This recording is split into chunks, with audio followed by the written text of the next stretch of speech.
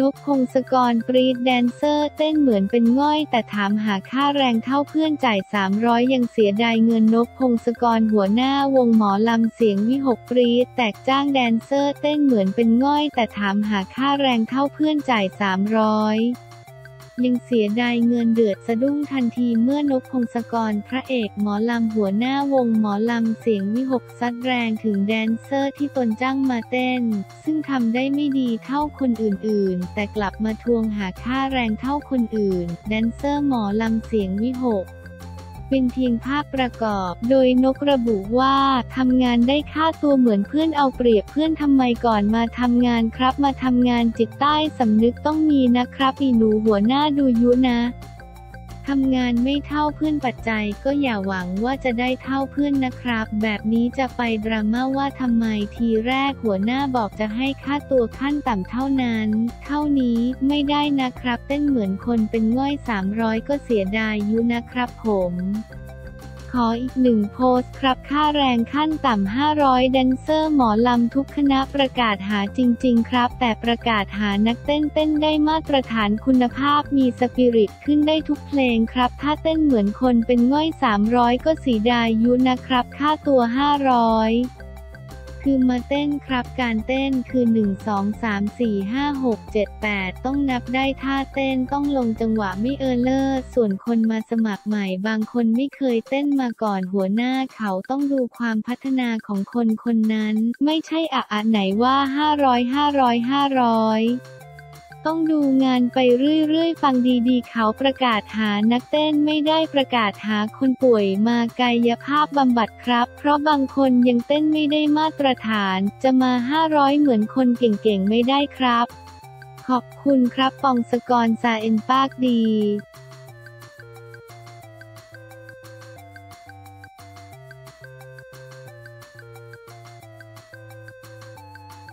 พี่สาวของคริสเตียโนโรนัลโดจวกปีศาจแดงลั่นกรรมจะตามสนองแน่พี่สาวของคริสเตียโนโรนัลโดออกอาการเดือดโพสต์อินสตาแกรมปกป้องน้องชาย โดยบอกว่าน้องตัวเองไม่ได้รับความเคารพและกฎแห่งกรรมจะตามสนอง พี่สาวของคริสเตียโนโรนัลโดซูเปอร์สตาร์ปีศาจแดง แมนเชสเตอร์ยูไนเต็ดแห่งพรีเมียร์ลีกอังกฤษออกอาการเดือดโพสต์อินสตาแกรมปกป้องน้องชาย โดยบอกว่าน้องตัวเองไม่ได้รับความเคารพ กฎแห่งกรรมจะตามสนองแน่นอนโรนัลโดตกเป็นข่าวอีกครั้งหลังแสดงพฤติกรรมไม่เหมาะสมในช่วงท้ายเกมที่แมน ยูไนเต็ดเปิดบ้านเอาชนะท็อตแนมฮอตสเปอร์ 2-0 ในศึกพรีเมียร์ลีกเมื่อวันที่ 19 ตุลาคม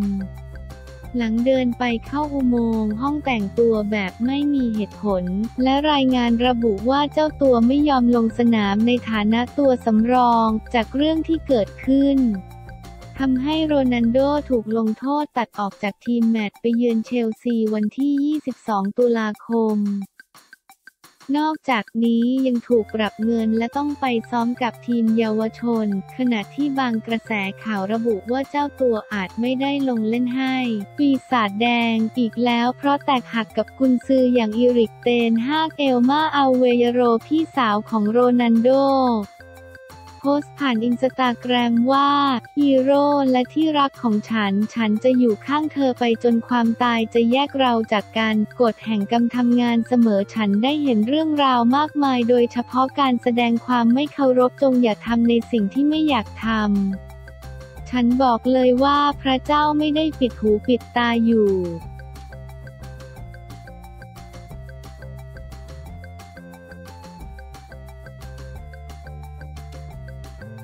เจเน็ตเขียวตามรอยเวียวิกกี้จดทะเบียนสมรสสามีลั่นทุกอย่างเป็นชื่อตนหมดจดแล้วปังเจเน็ตเขียวรับตามรอยเวียวิกกี้จดทะเบียนสมรสกับสามีรุ่นน้องหลังอยู่ด้วยกันมา 16 ปีลั่นทุกอย่างเป็นชื่อตนหมดวันที่ 21 ตุลาคม 2565 ที่เทวไลยพระพิคเนตช่อง7 s ดีนักร้องนักแสดงอารมณ์ดีเจเน็ตเขียวมาร่วมงานบวงสรวงละคร สาวใช้ Delivery พร้อมให้สัมภาษณ์ถึงชีวิตคู่หลังจดทะเบียนสมรสกับแจ็คแฟนหนุ่มตามรอยพระเอกเวียสุกลวัฒน์วิกกี้พีมนยาและเผยเหตุผลคบมา 16 ปีทำไมเพิ่งจดเพิ่งไปจดทะเบียนสมรสมา ก็เห็นพระเอกเขาจดเราก็จดตามเรียนแบบค่ากอบปี้ปี้ยิ้มคือไม่เชิงขนาดนั้นค่ะคือคุณสามีเขาเปิดไปเจอเขาเราก็คิดว่าเราก็อยู่กันมา 16 ปีแล้วก็จดสร้างความมั่นใจให้ผู้สูงอายุนิดนึงเขาก็ชวนเราก็บอกเอาเลยสิเขาเคยพูดคุยเรื่องนี้มาก่อนหน้านี้ ไม่มีเลยแต่เปิดดูข่าวตอนเช้าก็มีน้องเวีย เขาไม่มีพยานอะไรด้วย ก็ออกขำๆหน่อยนึงพอเราดวงมาก็ถูกชวนซะงั้นแล้วจะปล่อยให้พลาดไปได้ยังไงคะ รีบขึ้นไปแต่งตัวเลยถูกต้องค่าจะไปรู้ได้ยังไงหน้าผมพร้อมมากถ้ามีคิ้วหน่อยนึงด้วยคำนำหน้าเปลี่ยนไปเลย คำนำหน้าเขาถามอยู่นะคะว่าใช้นางสาวหรือนางเราก็เลือกนางสาวดีกว่าค่านางสาวตลอดการแต่นามสกุลใช้ของเขาเรียบร้อยหลังจากที่จดทะเบียนชีวิตมีการเปลี่ยนแปลงอุ้ยงานเข้าเกิน ทะเบียนพาปัง ปังถ้ามีคู่คิดหรือมีคนคัดกรองมันก็จะดีขึ้น ก่อนไปจดได้มีการดูเลิกดูดวง มีค่ะพอเห็นข่าวน้องเวียปั๊บก็โทรไปถามพี่สาว เพราะพี่สาวเป็นคนเปลี่ยนชื่อให้เขียว ชื่อเก่าเรานงนุชสมบูรณ์สมัยประกวดสยามกลการได้ตำแหน่งมาหลังปีคุณตั๊กสิริพรก็ชื่อนงนุชสมบูรณ์มาตลอด ก็เปลี่ยนเป็นกัญชันเทียนวิทย์มาตลอดเพราะว่าป่วยคือคำว่าสมบูรณ์ตกเป็นว่าสมองเสื่อมนงนุษตกชะตาขาดอายุสั้นทั้งชื่อนามสกุลตกหมดเลยก็เลยเปลี่ยนก็บอกพี่สาวว่าดูเลิกให้หน่อยพี่สาวก็เป็นคนดูเลิกให้และตอบกลับมาว่าวันนี้แหละวันที่ 8 เดือนกรกฎาคมมีคำมั่นสัญญา ไม่มีสัญญาแค่อยู่กันจนแก่เท่าจดวันเดียวกับเวียวิกกี้ตั้งใจหรือบังเอิญบังเอิญค่าเรากะว่าเดือนนี้แหละแล้วก็โทรถามพี่สาวเขาพี่สาวเขาก็โทรกลับมาเขาบอกวันนี้แหละก็ตรงกันสิคบกันมานานทำไมถึงเพิ่งมาจด เราห่างกับเขาเยอะนะเหมือนเขาจะสร้างความมั่นใจให้เรามากตัวเราให้ความสำคัญกับเรื่องจดทะเบียนสมรส ไม่ไม่อยู่กันไปยาวๆจนกว่าจะตายจากกันเนี่ยแหละดูแลกันไปจนถึงวาระสุดท้ายของชีวิต เพราะเราไม่รู้ว่าพระเจ้าจะปิดสวิตใครก่อน หรือจะดึงปลั๊กใครออกก่อนเราก็ไม่รู้สมัยนี้บางคนก็ล้มกันไปดื้อๆหนีกันไปดื้อๆขณะที่ยังคุยกันก็ยังมีเลยบางคนมองว่าเรื่องที่จดทะเบียนเป็นเรื่องของผลประโยชน์ ไม่เกี่ยวเลย เพราะว่าทุกอย่างชื่อเป็นของพี่หมดเลย หัวเราะ 16 ปีมานี้ชื่อทุกอย่างเป็นของพี่หมดใบสั่งพี่มีเป็นร้อยใบรถเขาเป็นคนขับ แต่ใบสั่งเป็นของพี่เดือนหนึ่งไม่ต่ำกว่าสี่ใบค่ะ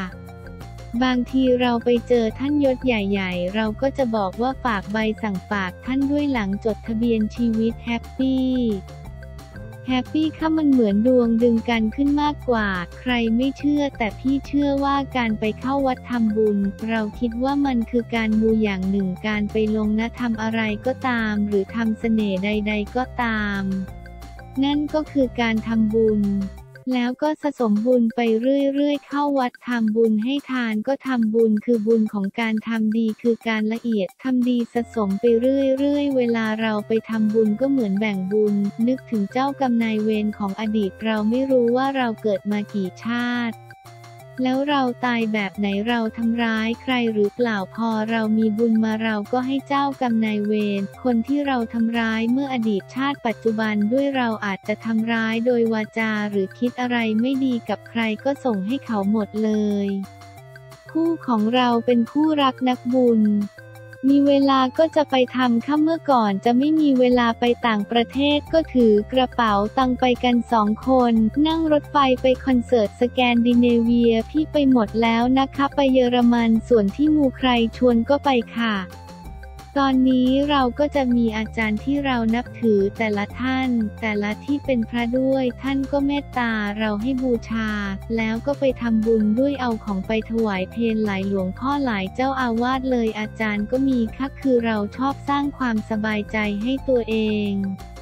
ไม่ได้มโนนะคะเวลาเราไปทำใจเราสงบเรามีสมาธิแล้วช่วงที่ทำหรือเวลาลงนะเราคิดดีสิ่งที่เรามีให้กับครอบครัวเทวดาแล้วก็เจ้ากรรมนายเวรทั้งหมดที่ผ่านมาทั้งอดีตชาติ และปัจจุบันชาติ หรือเราทำร้ายใครในยุคนี้ เวลานี้ตั้งแต่เกิดมาเนี่ยเราก็เอาส่วนบุญให้เขา เขามีทางเดินมีที่ดีๆ เดินเขาเดินได้เราก็เดินได้ข้าหมดกรรม ด้วยความที่เป็นสายมูได้ลาบลอยบ้างไหม ลอยมาบ้างค่าถูกบ้างแต่อย่าซื้อเยอะ ด้วยความที่เราซื้อเยอะ แต่ถูกสองใบงวดหน้าเราก็เอาอีก 30-40 ใบ เคยซื้อหนักสุดกี่ใบ เป็น 100นะนี่ลดแล้วเหลือแค่ 10 ใบพอถามว่าเคยถูกเยอะสุดเท่าไหร่ คือถูกข้างเคียงรางวัลที่ 1 3 ใบอาจได้ 3 0 0แสนเคยถูกหนักๆก็300 ค่ะ สองตัวตรงใต้ดินนะคะ เคยถูกรอบนอกได้หนึ่งแสนกว่าด้วย ถ้าเจ็บหนักก็ไม่เข็ด ไม่เข็ดเข็ดลอตเตอรี่เนี่ยนึกว่าถูกเลขท้ายพอตรวจดีๆ อ้าวถูกรางวัลที่ 5 ด้วยถูกสองใบค่ะ44,000ค่ะ แต่หลังจากนี้คือลดลงแค่ยิ่งเยอะก็ยิ่งคืนเขา หัวเราะ เราอย่าไปคืนเขาคือเราทำทุนปลูกต้นไม้ มีความสุข